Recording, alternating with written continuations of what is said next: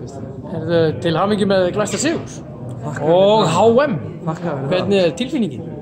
Jú, ég er bara ágætt að hafa unnið. Nei, auðvitað er þetta geðvitt. Við erum konur á háan. Við erum ekki ennþá búin að svona... Já, við, við vitum ekki ennþá, en eh, við erum, við erum konur á háan.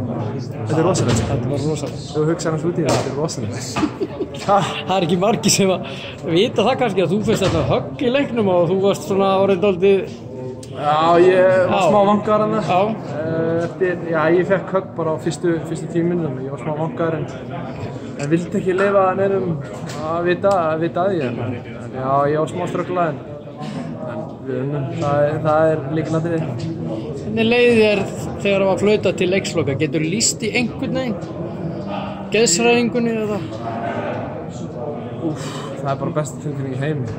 Ég held að það væri EM var í besta en þetta er miklu, miklu skemmtilega stærra og bara því verið fagnað í kvöld, það er alveg á hreinu. Hvernig fannst þér stuðnismennindir standa sig? Geðvikið sko.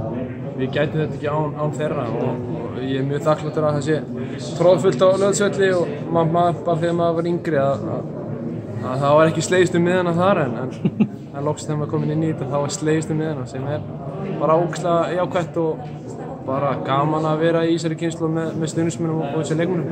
Það er að fara að læra á rúsnesku núna. Ja, maður, þarf að, maður þarf að kynna sér eitthvað um þessa rúsnesku og læra eitthvað orðið en, en já, ekki.